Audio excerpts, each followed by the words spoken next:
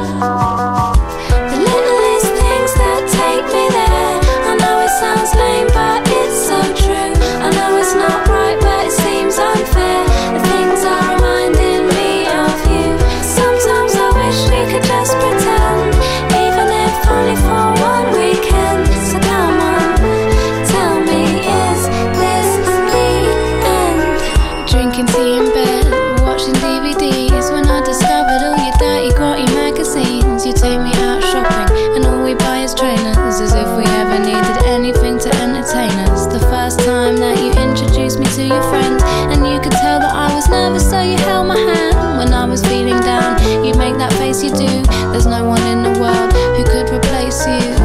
Dreams, dreams of when we had just.